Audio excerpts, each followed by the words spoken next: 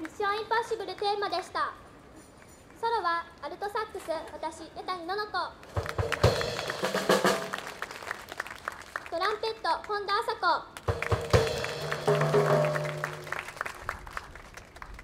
次の曲は「アナと雪の女王」のエルサが歌った曲「レッド・イット・ゴー」ですピアノの音色に耳を澄ませながらお聴きください